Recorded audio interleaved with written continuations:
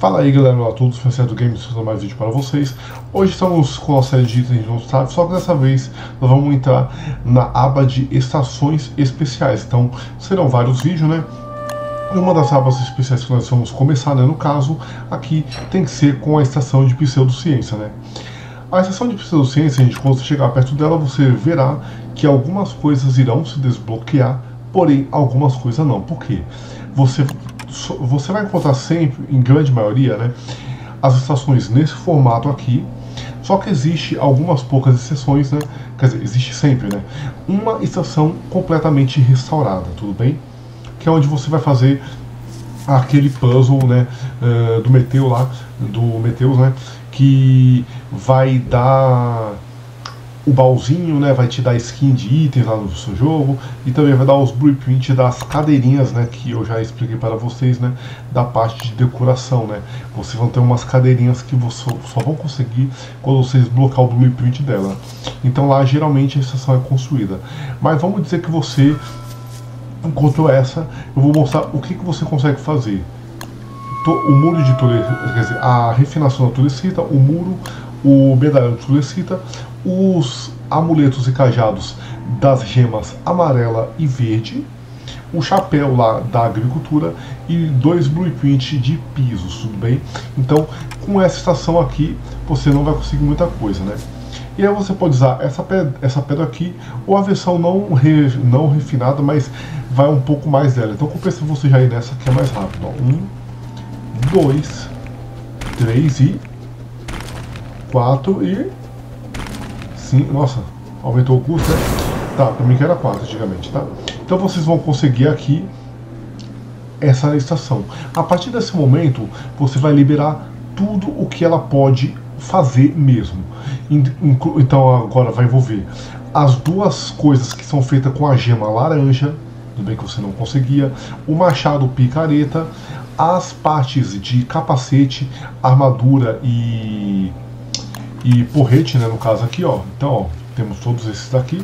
E também vai liberar, né, o, o disparo, os o negócio lá do Diclops que vai disparar, é, é tipo um, um, uma torre de ataque. E por fim, o Shadowcraft Plint Kit, né. Então vamos lá.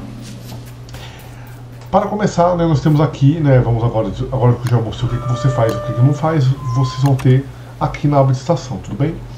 É claro que não é assim porque, no geral, né, você vai ver tudo aquilo local, mas aqui é porque eu tô com o modo criativo, aí ele mostra qualquer aba de craft, tudo bem? Vamos lá, né? a Turecita é basicamente uma refinação que vocês vão pegar quando vocês coletarem né, em alguns lugares né, que vão se achar nos baús, né, essa, esse fragmento de tulecita, tudo bem? Então, esse fragmento de tulecita, em grande maioria das vezes, ele não tem utilidade para nada, né? Então, acho que só talvez, deixa eu confirmar se eu até me esqueci, né? Somente o Alter que vai ter uma utilidade que ele vai fazer isso aqui. E ele pode restaurar esse tipo de mureta, ó, você pode ver ó, que ele consegue restaurar, mas ele sempre será menos eficaz, é mais fácil você usar eles para refinar, porque ele é o que vai te ajudar a fazer as demais coisas dessa aba. Por quê? Você pode ver ó, que o muro vai tulecita, medalhão, tulecita, os três amuletos, tulecita, os, ca os cajados até que não, né?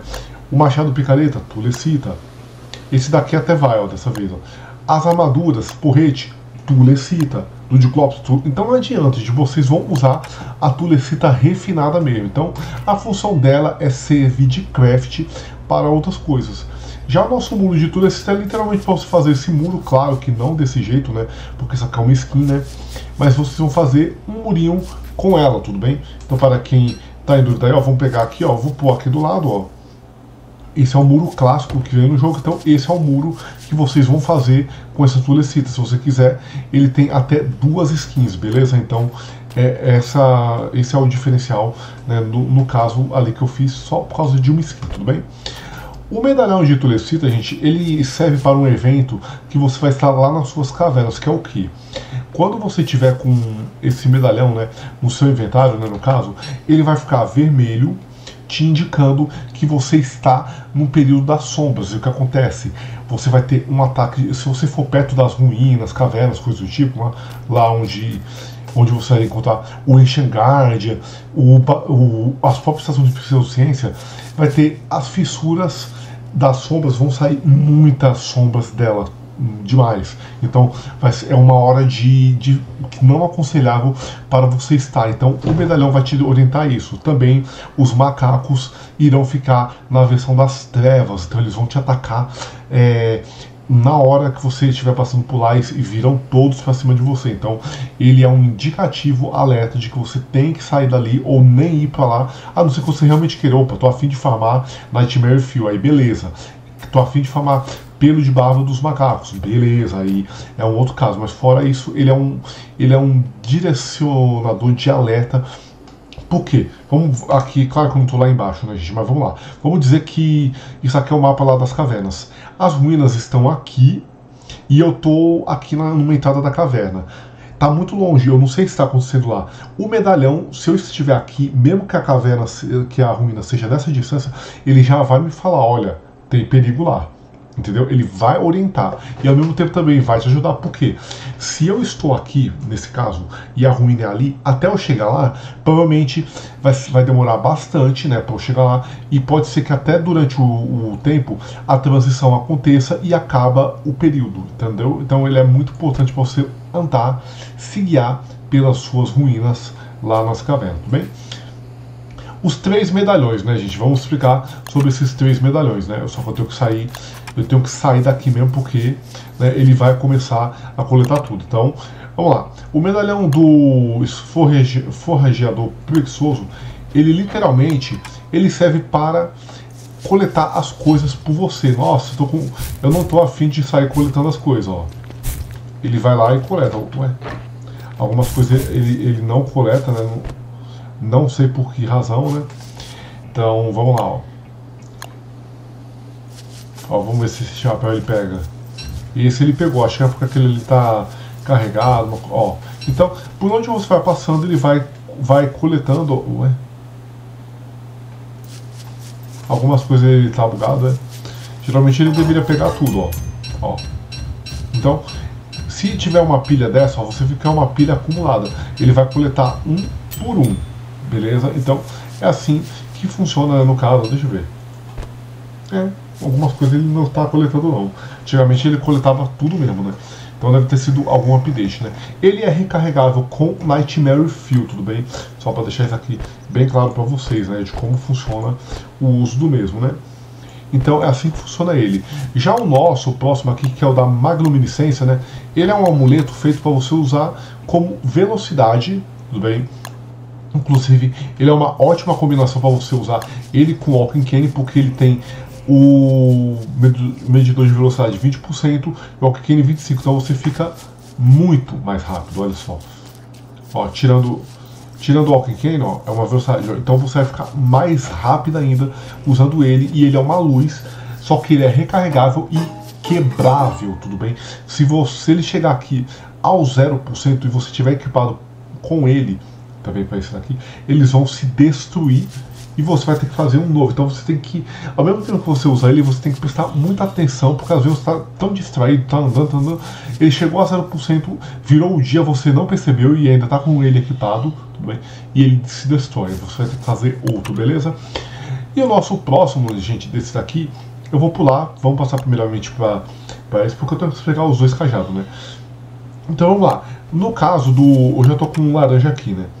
O do laranja, ele é um teleporte. Ó, então eu quero. Vamos agora a clarear aqui nosso mapa. E voltar aqui para o outono, né? Claramente, né? Eu quero me teleportar para ali, ó. Vamos. Beleza? Aí eu quero fazer. Eita, nossa, calma. Aí para aqueles mais ligeiros, né? Por exemplo, né? Eu não quero dar a volta, beleza? Vamos entender aqui, ó. Eu estou aqui nesse canto, para eu chegar neste lado aqui, eu teria que vir aqui por cima da volta. Com esse cajado não, ó. Você já passa para outro lado, pronto. É basicamente isso. Também é usado para você, se você souber fazer revisamento entre item e outro, durante uma batalha o boss vai vir te atacar aqui, opa, pô, ele não te atacou, ele dá o dano tipo de Clopes, você escapou dele. Então, é assim que funciona ele, né? Já o nosso próximo aqui, gente, ele não, ele não, assim, ele é uma luz também, beleza? Né? É, lembrando, cada uso que você fizer isso daqui, a gente vai gastar sanidade sua de qualquer um dos três cajados, tudo bem? Esse daqui, por exemplo, ó, é o cajado de Volca Estrela, né?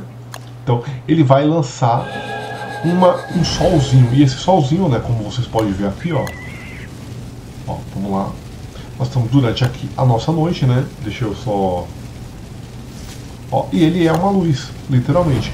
Só que ele também ele é uma fonte de calor. Então, vocês vão percebendo, ó, minha temperatura aqui subindo e a minha sanidade também é uma fonte maravilhosa de sanidade recuperador. Então, é isso, né? Só para deixar bem explicado aqui para vocês como é que funciona, né? Então, ele vai durar 30 minutos esse, esse negócio, né? Na verdade, eu acho que é uns 28 e meio mais ou menos que dura essa luz. Mas vamos arredondar para meia hora, né? Então, se tornando um item muito bom mesmo, né? Assim, no geral, né? Muito interessante ser usado. Né? Já o nosso próximo, gente, ele funciona de uma maneira de combo, né? Na verdade, do que, que você precisa de cada um deles, né? Então nós vamos pegar aqui o nosso cajado, uh, o cajado verde e o amuleto verde. Uh, eles têm um nome, mas eu geralmente chamo assim qual que é a função disso daqui, gente? Existe coisa aqui no Lodestab, gente, que elas são muito complexas de serem feitas, né? E às vezes você fez no lugar errado. Por exemplo, né? É, qual uma coisa que é chata de se fazer, né? No caso aqui, que você pensaria é, em multiplicar, coisas do tipo, né? Ou refazer, né? Porque você acha que é um desperdício da, da matéria-prima, é embaçado, nossa, eu usei isso, usei aquilo, né? É, coisas do tipo, né? Então, vamos dizer, né? Eu vou pegar aqui uma coisa, vamos dizer, é, uma coisa que você vai fazer duas ocasiões, né? Vamos tentar explicar aqui para vocês, fazendo duas vezes a mesma coisa, tudo bem? É, e também tem, ele serviu de um tempo para cá para outras coisas, que eu estou falando aqui do cajado, né, no caso. Então vamos lá. Eu vou construir aqui, né? Vamos ver uma coisa que eu não me atalho. Ah, tá. Pode ser o baú. O baú é mais fácil da gente explicar isso para você. O baú do Dragonfly, né? Do bem? Ou o do fogo. Deixa eu ver quanto que é esse daqui. Não, ele é simples, tá? Achei que ele era mais avançado, coisa do tipo, mas Infelizmente não é, tudo bem? Então vamos com o baú da Dragonfly, né? Então o que acontece, né? Ó, vou criar aqui dois baús. Beleza. E nós vamos pegar aqui o nosso martelo, né? Cadê? Tools, né? Nosso martelo. O que acontece? Quando eu usei, para vocês verem nesse negócio aqui, claro que não, né? É, mas você usei uma escama de Dragonfly, quatro madeiras, 10 ouros. Quando eu dou uma martelada nisso daqui, gente, olha só, eu consegui recuperar o que? Cinco ouros, duas madeiras e a pele. Então as coisas que estão dobradas, elas vão vir pela metade. Já quando eu uso o amuleto desconstrutor, ele vai me dar 100% dos itens, tudo bem? Então, olha só, viram 100% recuperado. Então é para isso. E muitas pessoas fazem o que, né? Com, com esse cajado desconstrutor. Né? Eles têm uma mania, né? Vamos pegar aqui como que é a função dele, que ele, ele tem uma função muito boa, né? No caso. Nós vamos pegar aqui em decorações. Nós vamos pegar o piso. Não é esse. Não tô nem achando o piso dela, né? Tá. Deve estar tá aqui, só que eu não estou enxergando. Não tô aqui. Esse daqui da Dragonfly. Quando você usa isso aqui, ele vem vem quatro, tudo bem? Aí o que, que você vai fazer? Quebramos. Até aqui, ó. E aí o que acontece? Você virou quatro pisos. Quando você usa esse cajado desse construtor, ele entende cada um desse como um, mas você usou quantas? Uma pele, ó. Ó, uma pele de Dragonfly virou 4. Você pode fazer isso com itens do Toadstool para multiplicar o total de, de escamas. Então você tinha uma escama, virou 4. Entendeu como funciona? É diferente, né, desse daqui no geral, né? Tem, tem itens, né, que como falei, são caros de serem feitos, né? Às vezes eles vão muita coisa de, de para você fazer o uso do mesmo, né? Beleza? E o que, que você vai fazer? Você vai usar o cajado, o amuleto construção. O que acontece? Quando você equipa ele, né, o, que, o que, que vai acontecer? Tudo aqui, qualquer coisa, cai pela metade. Então, ó, ó por exemplo, esse daqui. É, ele agora vai duas vai, vai duas tábuas, vai cinco ouro. Então ele já está fazendo o craft pela metade. Aí, por exemplo, é onde entra o método quebrado, né? Que você poderia fazer tipo uma combinação. Vamos dizer, eu quero farmar ouro. Eu uso esse, esse amuleto, né? Faço cinco baús desse, por exemplo, né? Que vai custar pela metade, né? Ó. E, e basicamente isso. E aí com o cajado eu desconstruo e vai virar 10, entendeu? Tem dá de fazer várias estratégias. Então essa é a função. Os nossos próximos aqui, gente, são o, as nossas partes de armadura. Esse daqui, ele vai ser literalmente para você ter uma defesa de 90%, tudo bem? E enquanto esse, essa coroa, ela vai ter 90%, só que ela ainda pode invocar um escudo de vez temporário para você de vez em quando, né, gente? E o porrete Turecita, ele é uma arma muito boa, né? Claro, ele dá um ótimo dano, só que depois ele pode summonar uns mini tentáculos que também vão ajudar você a dar dano, tudo bem? Vamos só, antes de continuar nosso vídeo, fazer o que vocês estão esperando, né, gente? Você falando, abre, foi certo, abre, vamos abrir. Ó, usar depois, certinho. Então agora vamos para os nossos próximos itens. O nosso olho, né, eles literalmente ele vai servir para você é, fazer farm de alguma coisa ou deixar contra algum tipo de inimigo. O que, que eu recomendo, né? Por exemplo, ai, é, os morcegos são chatos. Ou quero fazer um farm de pelo de coelho, tipo assim, uma coisa tipo, você vem aqui, ó. Ó. Vamos deixar aqui, ó. E ele vai começar, ó. Ó. Ó, já atacou, ó. Atacou, ó. Então, qualquer um deles que ele, ele vai mexer, ó. Ele vai atacando, ó. Ó. De tempo em tempo. E, e ele dá um dano considerável, tá, gente? Assim, ele dá 65 de dano, ó. Matou todo mundo. Você quer, você quer deixar ele num lugar que ele vai enfrentar os sapos, tudo bem? Ele vai conseguir enfrentar. E detalhe, ó, deixa eu pegar aqui pra vocês, ó. Sobre ele, ele tem mil de vida, né? Vamos lá. Ó.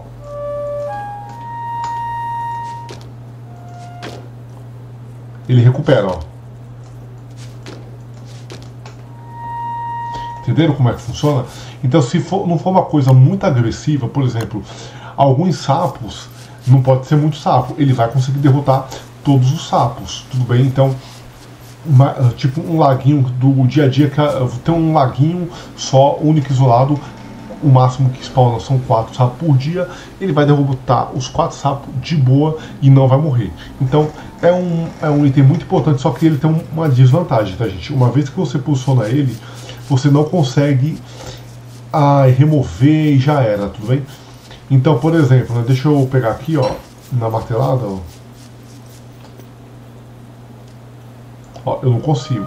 O máximo que eu vou fazer é matar ele até o final. Quando ele for derrotado, eu vou recuperar o chifre e o olho? Não. Perdeu. Beleza? Então, é só isso que eu queria mostrar para vocês no geral, né? E vamos agora com as últimas duas coisas, né, que nós temos aqui, né? Duas porque é uma coisa mais específica, né? O nosso próximo aqui, gente, é o Shadowcraft Plint Kit, né? Isso daqui na verdade, é uma máquina, tudo bem? Que nós vamos posicionar e colocar, tudo bem? Quando a gente colocar, já era, tá, gente? Nós, ó, ó, eu não tenho somente destruir. Então, o que acontece? Ele vai abrir uma outra aba, né? Que eu não vou envolver aqui nesse vídeo de hoje, que é as abas de que envolvem o Dactators, tudo bem?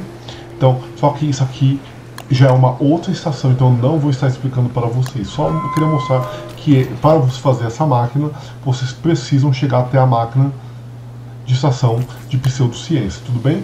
Só para deixar isso aqui bem claro para vocês, né?